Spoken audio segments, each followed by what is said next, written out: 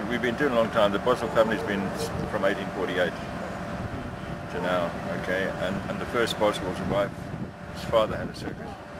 And his father had a circus, and his father had a circus, go back to 1752, in a, in a continuous line. We find them and they find us. Uh, I think my daughter's going to show you some girls who just arrived a week ago.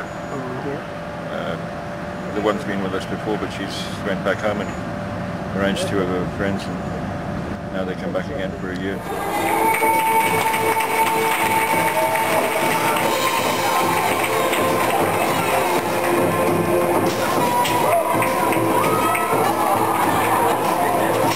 I do a little bit of aerial work. I work as a slave, and I do announcements. And I hot dogs. And hot dogs. And hot dogs. My family is in the circus, so I basically grew up there.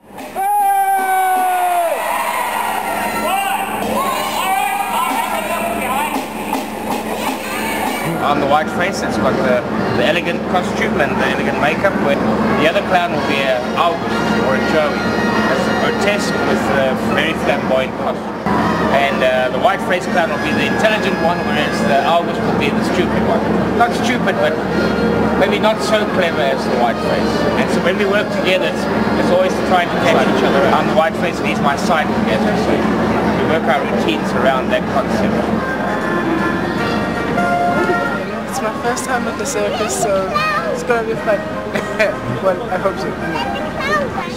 I came to see the animals. Yeah? The animals. The white tiger, clown, leopard, and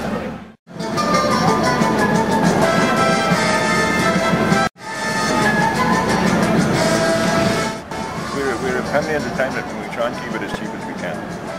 And, you know, where, where other shows are charging 100 bucks and 300 bucks a head, we're charging 50. Uh, and people say, why do you do it? What we do. It's what we enjoy. Entertaining people.